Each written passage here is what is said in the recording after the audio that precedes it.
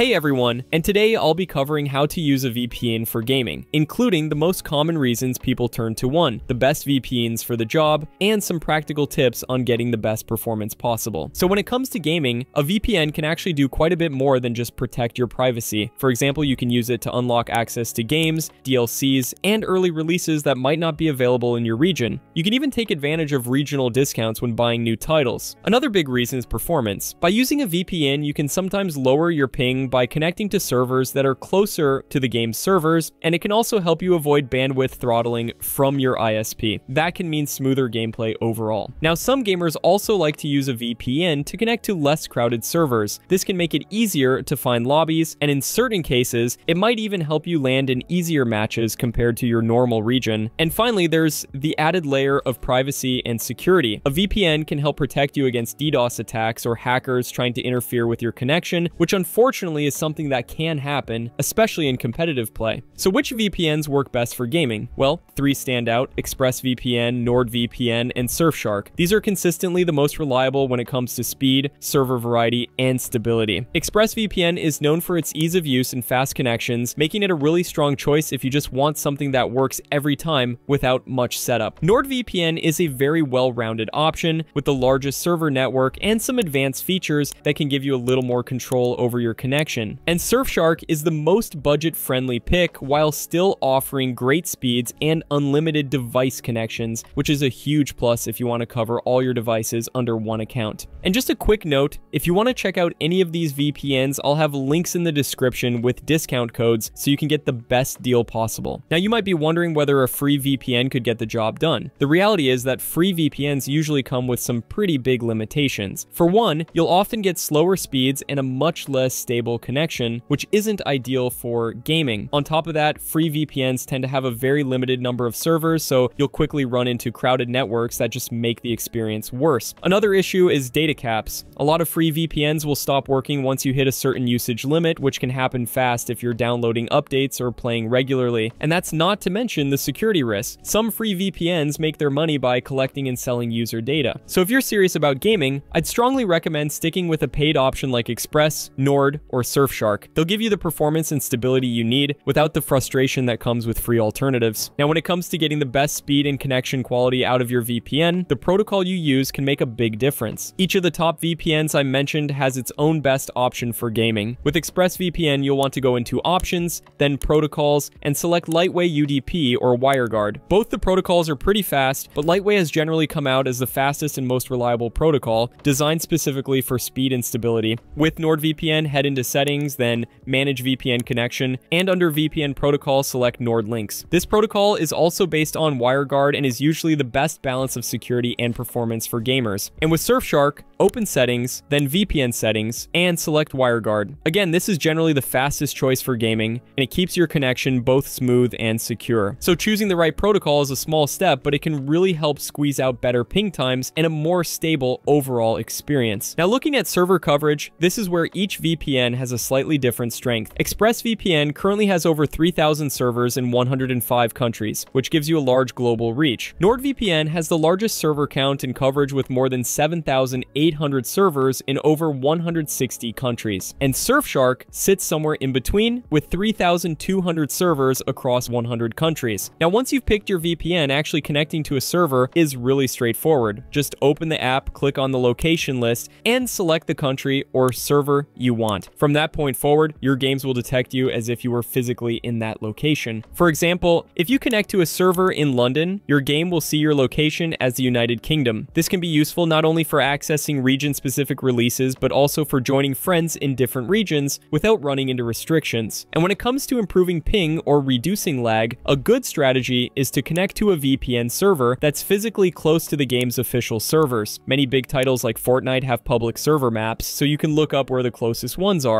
For instance, let's say you're in Russia, but the nearest Fortnite servers are in South Korea. By using your VPN to connect through South Korea, you could potentially get a much better ping than if you stayed on your default route. It's also worth testing a few different servers because sometimes the closest one isn't actually the fastest. A quick trial and error approach can help you find the most stable option for your setup. And then there's another strategy some players use, which is connecting to regions where a game is less popular or where the time zone means fewer people are online. For example, in Warzone, connecting at off off-peak hours to certain regions can give you lobbies that are easier to play in. Sometimes this can even reduce the impact of skill-based matchmaking, making it feel less strict. Of course, results can vary depending on the game, but it's definitely something to experiment with if you're looking for a more relaxed experience. Now, another interesting use case for a VPN in gaming is with Steam. Steam pricing can vary a lot between regions, and sometimes new releases are available earlier in certain countries. By using a VPN, you can take advantage of these regional differences. There are two main methods. The first, and usually easiest, is to create a brand new Steam account while connected to a VPN in the region you want. For example, if a game is cheaper or available earlier in the US, you'd connect to a US server, sign up with a new account, and then use a valid payment method that works with that account. This method is especially useful if you don't have a local payment option from that region. The second method is to stay on your existing account, connect to a VPN server in the region you want, and then purchase directly. But here your payment method usually needs to match the region you're buying from.